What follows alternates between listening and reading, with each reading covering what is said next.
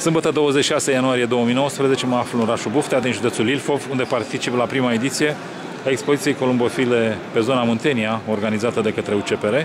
Acum am deosebită plăcere să stau de vorbă cu un veteran columbofil al județului Dâmbovița. Este vorba despre domnul Stoica Gheorghe din Ulm, da?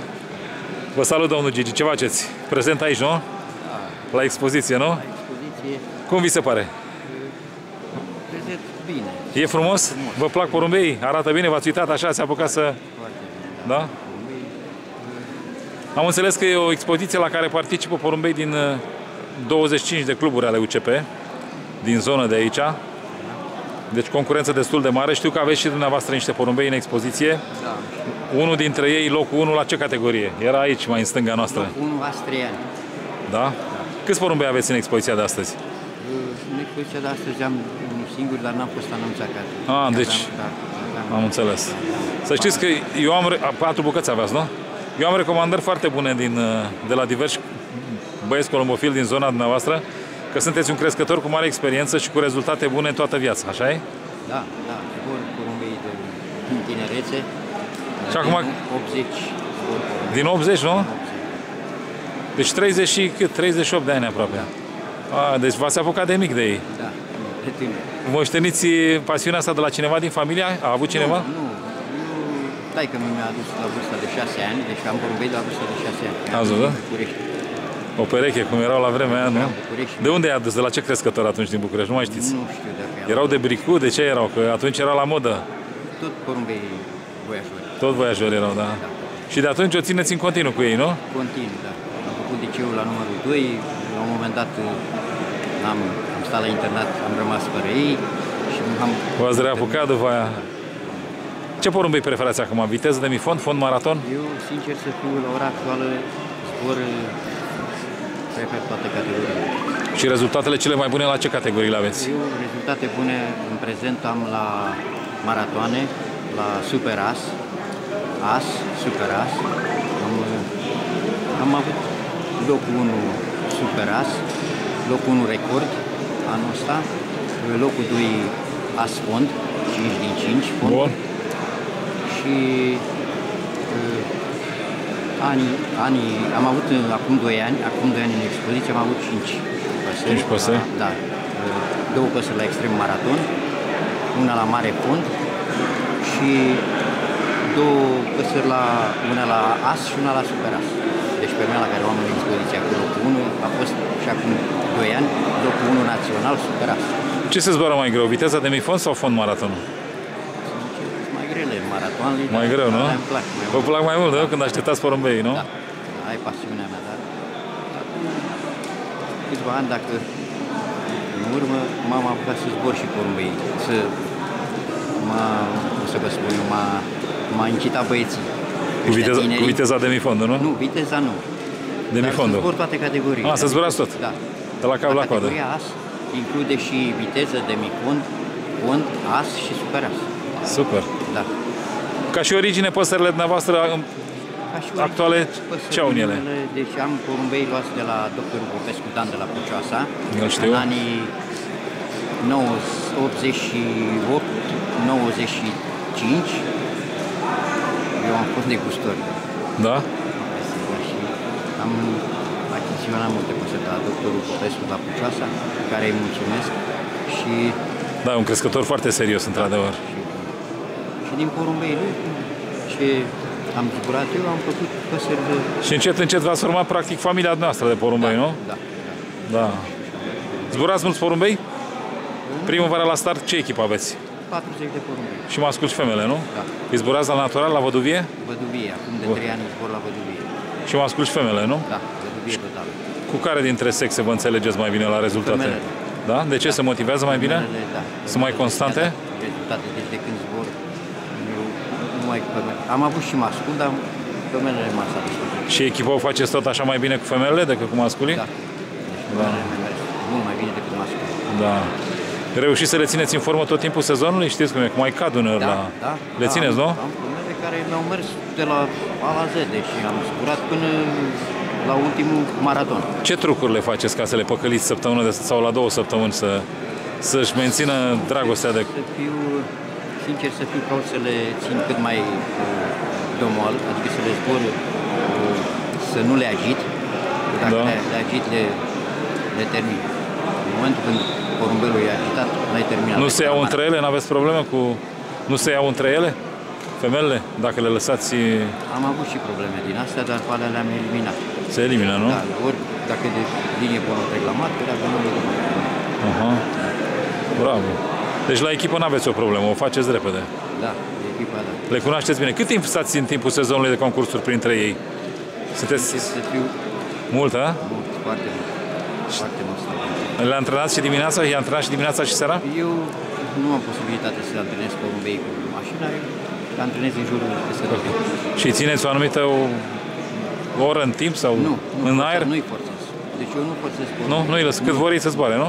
Ei las cât vor ei să Dar vă dați seama de forma unui porumbel și din uh, cât timp zboară? Deci îmi dau, de for- îmi dau seama de formă numai în momentul când porumbei se ridică la înălțime și zboară în forță. Atunci îmi dau seama. Când porumbelul zboară uh, la înălțime medie, Jos la nivelul casei și asta înseamnă că nu e în formă, nu nu? e în formă și nu, Da. Și îl angajați chiar dacă îl simțiți că nu e în formă? nu-l angajez. Îl țineți acasă, nu? Simt că nu e- Deci jucați numai cu cei care îi considerați că au șansele cele mai mari. Da. Cu puii cum e? Scoateți mulți pui în fiecare an? Pui, Câte perechi aveți la matcă? uh, am, la ora actuală, am adus niște păsări din Spania la doi prieteni. E primul an când le-ați adus anul ăsta și le băgați în, în porumbei? Acum un an ne-am adus. Și ați apucat să-i verificați produsii? Nu, n-am apucat să verific, acum să-mi scot pui din ei și am, am cam mulți la mat, cam în jur de 40, 46, deci asta înseamnă 23 de perechi. 20 de perechi. Cam mult, da. Cam mult. Și pui am avut întotdeauna, Îi zburați toamna? da, Mergeți până la etapa derby? până la derby. Și băgați tot numericul acolo sau o echipă mai restrânsă? Ei, acum un an eu am plecat cu 43 de pui Da. și am băgat la zborul derby la, la Nicolaev, am băgat 15 pui, dintre care am avut 7 din 15 clasați și 12 sus. Bun, 12 din 15, bine. Înseamnă că aveți păsări de calitate. Nu? Rezultatele vă recomandă. Zbor cu mari viteze, știm. Ia spuneți-mi, la atâta experiență colombofilă cât aveți dumneavoastră, 38 de ani am zis, nu? Norocul ce importanță considerați că are?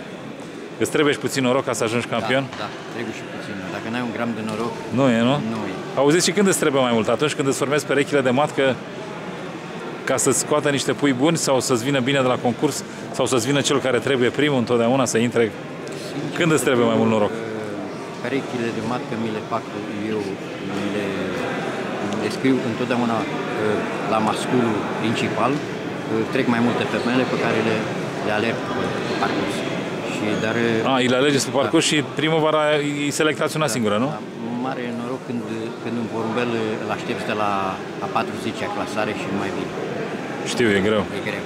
Foarte, E foarte greu. Da, am, am, uh, am trăit clipele astea când anul ăsta un prieten de club a avut 38 de clasări, ca și mine, și așteptam la 39. A lui n-a mai venit și a mea a venit chiar primul. Ați văzut? Da. Satisfacție enormă și dincolo... da. Și culmea că lui el a băgat-o la demifond și eu am băgat-o la, la fond și am așteptat cu două zile în urma demifondului și am stat Da. Familia vă ia alături? În creșterea porumbeilor sau nu prea vă ajută nimeni? Cu soția, mă ajută soția. Vă ajută doamna, nu? Mă ajută soția. Da, V-a acceptat așa toată viața cu pasiunea asta? Da, da, Deci a știut de la început ce o așteaptă, nu? da. da. Și n-a zis nimic, nu? Din dragoste de dumneavoastră, Ea mă ajută, vă dați seama. da. unui tânăr care s-ar apuca în prezent de porumbei, ce sfaturi i-ați da? Cu ce porumbei să înceapă? Cu pui sau cu maturi? De unde să și ia? Cu ce numeric? Unui tânăr l-aș sfătui chiar, chiar, chiar ouă să ia. Chiar ouă, nu? Chiar ouă să ia de, De la, la- pescător. Da, să fie de la el din zonă sau nu neapărat? Nu neapărat. Nu neapărat, nu? Dar să ia ouă din, din porumbei din tardiv de toamnă. Ah, Din tardiv de toamnă. Deci, ouă. Da. În prima serie și a doua e mai greu să dea cineva ouă. da. Sau Re- Reproduceți pui tardiv? Scoateți pui tardiv? mai puțin tardiv. Din zburători? pentru Că nu prea am, Nu? nu? Prea am, Spațiu? nu, nu prea am asta financiară. Ah, forță financiară? Financiară, da. Am înțeles. Știți de ce vă întreb? Pentru că unii spun că porumbeii tardivi ar fi mai bun reproducător decât... uh, Da, eu în totdeauna scot articol în perechi ce mă interesează. De exemplu, femeia la care o am în expoziție locul 1, ea a fost pereche a, în toamna cu tatăl ei și am scos doi Da. cui pe care unul îl dau la cineva, cadou și unul o presiune. Dar după încheierea sezonului de concursuri mai reproduceți pui din zburătorii? Mai lăsați să scoată? Nu. Deloc, nu? Nu. Dar scot la început? La început, Îi lăsați da, un pui, îi nu? las Să crească un pui, da. Un pui și după aia probabil după ce o femeie la... Îi băduge. Îi vă duceți și țineți așa tot, uh, tot sezonul, nu? Despărțiți, nu? Da, tot sezonul. Le, ar- le arătați, de exemplu, la femeile le arătați masculii după concursurile grele? Se Da, văd după- împreună? După orice concurs ei se, se întâlnesc. Și cât le mult îi, îi lăsați? Îi Să stea las, împreună. Depinde de sport. Dacă zborul e de, de fund maraton, îi las toată ziua împreună. Îi lăsați să calce fără probleme, nu? Da. Deci, fără, îi las împreună toată ziua. Iar dacă zborul e de demifond viteză, îi las cel mult o oră. Și îi urmăriți să nu se calce sau nu? Îi lăsați să facă nu, ce vor? asta îi urmăresc să nu se calce în momentul când îi, îi bag la, la viteză iar și de mic. Și nu îi las să calce. Dar când vine la sosire, îi las Da. să facă ce vor. ei. Antre- astea antibiotice în timpul sezonului de concursuri le dați? Niciodată? Niciodată. Și dacă îl simțiți că e mai slăbit și nu, nu e refăcut și... Porumbelul, eu nu tratez porumbei în masă, eu tratez porumbei individual. Întotdeauna. Deci dacă e ceva și găsiți la unul, îl tratați doar individual, nu? Da. Da. Eventual îl opresc o etapă, două, văd că nu... Da, dacă nu e refăcut complet, îl opriți, nu? Da. Nu-l angajați totuși în... uh, Am înțeles. Ce v-ați mai dori acum, după câte rezultate ați obținut în întreaga carieră? Pentru 2019 ce v-ați dori? Ce rezultate să mai obțineți? Îmi doresc pentru 2019 să dea Dumnezeu să, să fie ca și 2018, Un an bun, adică, nu? an bun, da? Și să ne ajute Dumnezeu să fiu sănătos, să mă las în glorie. Sunteți încă tânăr. Câți ani aveți? Puteți să ne spuneți? Da? 33. Mulți înainte, sunteți încă tânăr. 20 de ani trebuie să mai zburați de acum. Să dea Dumnezeu. Să fie cum ziceți. Domnul Stoica, vă mulțumesc foarte mult pentru amabilitate. Vă felicit pentru această frumoasă pasiune columbofilă pe care o aveți, pentru rezultatele pe care le-ați obținut și vă doresc în continuare multă sănătate, viață lungă La fel și și succese columbofile la fel de mari. Mulțumesc mult. Toate cele bune. Cu stimă, numai bine.